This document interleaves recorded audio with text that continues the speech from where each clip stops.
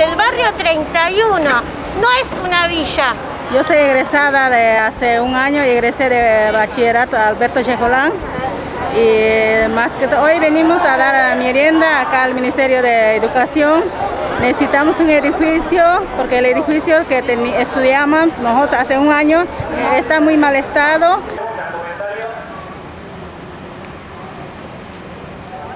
Ahí la estudiante nos dice que, que nos quieren ignorantes, quieren que no estudiemos. Y efectivamente, con lo que están haciendo, eh, quieren que, no, que, nadie estudie, que, los docentes no demos clases, que los estudiantes eh, no puedan asistir a la escuela. Si les han dado algún tipo de información respecto a la conectividad de los estudiantes, tanto suya porque ustedes son estudiantes, reciben eh, reconocimiento del Estado por ser estudiantes, porque están estudiando en scriptes en la Unidad de Gestión Educativa número 20, que es nuestro bachillerato popular. Que nos contaban las dificultades para conectarse. Un único celular para toda la familia. Y ese celular con el que hay que tener clases. Somos una escuela chiquita, pero este edificio enorme no nos va a hacer sombra, así que vamos a seguir en, la, en, plan de lucha hasta que consigamos un espacio digno para funcionar.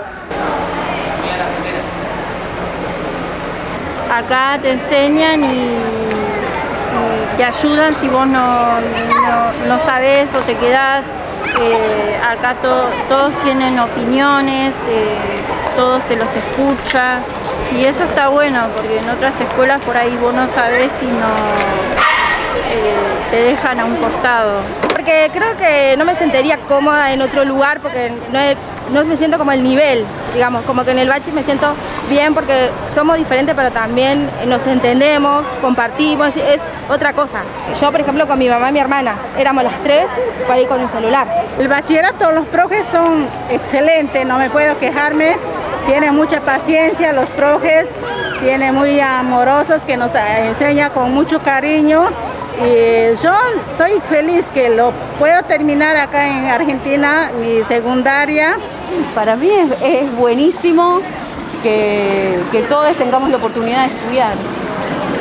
Tengamos la edad que tengamos y en la situación familiar que, tengamos. Eh, tenemos el 80% de nuestros estudiantes son mujeres con hijos, pero también tenemos eh, varones, personas trans.